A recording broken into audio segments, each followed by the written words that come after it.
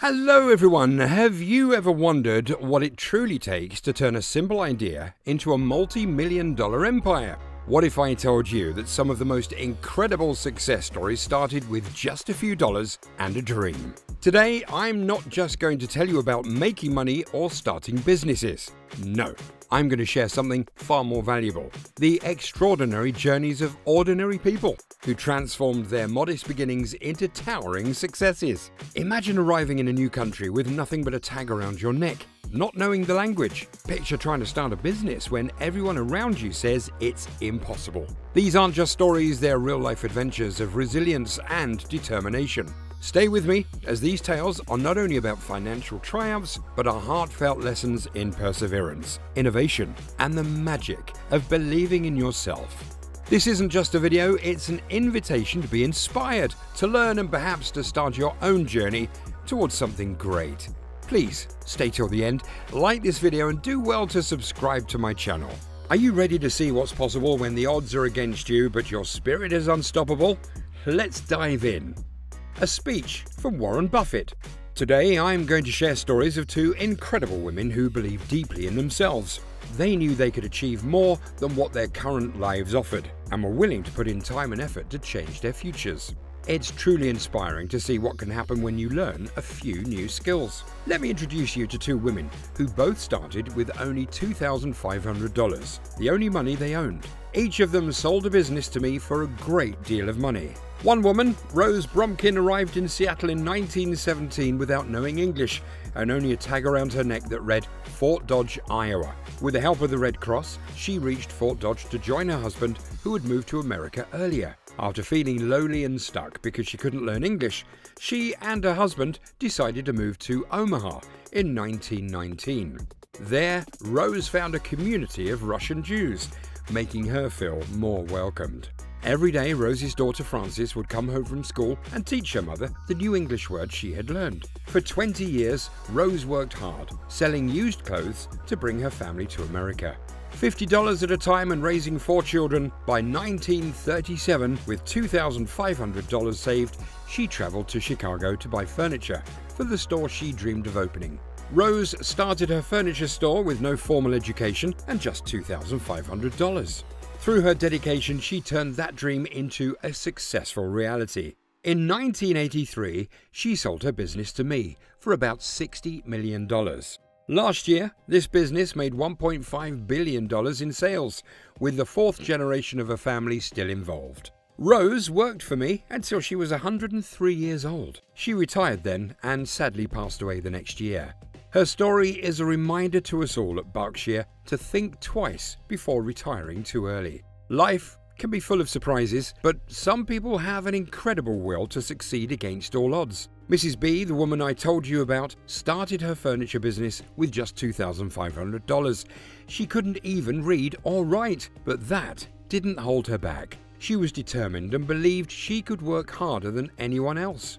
She also cared deeply about her customers and kept her prices low, building an incredible business from scratch. I saw another woman achieve something similar with her $2,500, and I ended up paying her hundreds of millions for her company. This made me think why not meet such remarkable people earlier? I don't want to be just the person who buys your business for millions. I want to be part of your journey right from the start. Warren Buffett's speech still. Let's explore the story of another small business owner a man named Jack. I once tried to buy his business, but he smartly said no. Born in 1922, right before me, Jack grew up in the Midwest. He liked sports more than schoolwork, but here's an interesting fact. The company he started hires more college graduates every year than any other company in the US. Undeterred, Jack then tried the Navy, which welcomed him. During the war, he served on an aircraft carrier and flew small planes earning two distinguished flying crosses for his courage. After the war, Jack returned to the Midwest. He was about 23 or 24 years old and tried different jobs until he found his place selling used cars at a Cadillac dealership in St. Louis, Missouri. By the time he was 35, he was so good at selling that he proposed starting a car leasing business to his boss. His boss agreed, but on one condition Jack had to halve his salary and come up with $25,000, which he borrowed to invest in their new venture. With just seven cars, Jack started his leasing business. It was tough at first. He would let the phone ring a few times before picking up to make it look like he was busier than he really was. But this first venture was just moderately successful. Yet, Jack didn't give up. When he was 40, he expanded his business into the competitive world of car rentals with only 17 cars. He was up against giants like Hertz, Avis, and National, who had fleets of hundreds of thousands of cars and the best spots at airports. Jack couldn't compete with the quality of cars, which were the same as theirs, but he knew he could outdo them in service. He named his company Enterprise after the battleship he had flown from in the Pacific. Jack passed away about a year and a half ago, but by then, his car rental company, which started with just those 17 cars, had become more valuable than Hertz, Avis, and all other rental companies combined. The man behind this massive success was Jack Taylor. His son, Andy Taylor, a good friend of mine, now leads the business. There's even a grandchild working there, and it looks like a fourth generation might come soon. Jack didn't create something as complex as a computer that thinks like a human. Instead, he started a straightforward business, similar to Mrs. B with her furniture shop. He followed a simple rule make your customers happy and build strong relationships with your team so they also want to keep the customers happy. Jack couldn't manage every part of his car rental business by himself, but he spread his friendly nature and his desire to make friends with every customer. He turned ordinary cars into an amazing business from almost nothing. This story shows us a few important lessons. First, you might not succeed the first time you try. In his car leasing business, Jack was only competing by offering lower prices, which didn't really excite his customers. It was tough to make people happy when all they did was use a car and pay for it every month for five years. He wasn't using his real talents in that business. But at 40, with all his past experiences, Jack found the perfect approach. He transformed a very normal business into something incredible, just like Rose did with her furniture store. Jack didn't worry about things like interest rates or changes in the stock market, things out of his control. Instead, he put all his effort into making the customer's experience better, something he could directly improve.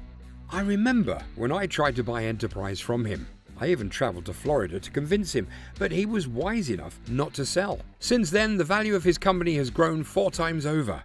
Jack knew he had something special. Remember, even Henry Ford failed twice before he finally started the successful Ford Motor Company in 1903. The real challenge isn't just having the best business idea right away. The true test in business is if you keep learning about your strengths and how you can make your customers happy, to really make a difference, you need more than just education. Like what you've learned from the 10,000 Small Business Program. You also need a true, everyday commitment to making your customers happy. I've seen many businesses, and I can tell you with confidence that the ones that make their customers happy are the ones that succeed. Think about it when someone needs to rent a car or buy furniture the next day, where do they want to go? They'll remember the place where they had a great experience. I might not remember what I paid for my last shirt, maybe it was even a gift, but I definitely remember how I was treated when I bought it. Over time, you forget the price, but you never forget a good or bad shopping experience. It's rare to find someone who had a great experience buying something and doesn't want to come back for more. Similarly, if they remember being treated poorly or just okay, they likely won't come back. As a small business owner, especially as your business grows, it's important not just to make your customers happy yourself, but also to make sure your team does the same. If you can't lead well, if your team feels they're not treated fairly or their ideas aren't valued, you need to learn how to inspire your team to extend your values. I always tell young people to surround themselves with those who are better than themselves. This advice is crucial, not just for business, but in personal life too. One of the biggest decisions many of you will make is choosing the person you marry. Being around people who are better than you helps you grow. I've been fortunate to have mentors, friends, and a spouse who are all better than me, and I learned so much from them. It's important to choose partners who lift you up, not those you think you need to fix. These simple principles making customers happy, leading through others, surrounding yourself with inspiring people will take you far. Look at Rose Blumkin. She started with nothing. Couldn't speak English, couldn't read or write, yet she built a business worth $1.5 billion from just $2,500. And consider Enterprise. I believe they also grew with minimal extra investment, building their business from the ground up. I admire all of you who work hard at your jobs while also furthering your skills. 99% of you graduate, which is incredible. I see 2,200 people here who I deeply respect and support. I'm cheering for you all, and I believe the best is yet to come. As we move forward, remember that the journey of a small business owner is never a solo endeavor. It's a collective voyage that thrives on community support, shared knowledge, and mutual respect. The stories of Rose and Jack aren't just tales of individual triumph, but are testaments to what we can achieve when we pull together as a community. In each of your ventures, as you strive for success, take a moment to reflect on the wider impact of your actions. How do you uplift those around you? How do you contribute to the community that supports you? Success is sweeter when it's shared, and the strongest businesses are those that enrich not just themselves, but also the lives of others around them. Let's also embrace the mindset of being lifelong learners, whether it's learning from a setback or a success. Every experience has something to teach us. Encourage this curiosity and commitment to growth not only in yourselves but also in your teams and the communities you serve. Think about the legacy you want to leave behind. What stories will others tell about you and your business? Aim to be a beacon of inspiration and a pillar of reliability in your community. Build a legacy that goes beyond profits, one that fosters a sense of belonging and encourages others to pursue their dreams with courage. Thank you once again for your dedication and spirit. I look forward to seeing where your journeys take you and how you'll change the world one satisfied customer, one inspired employee, and one innovative idea at a time. Here's to your continued success and to all the adventures that lie ahead. Cheers to building a future we can all be proud of. Profitable investing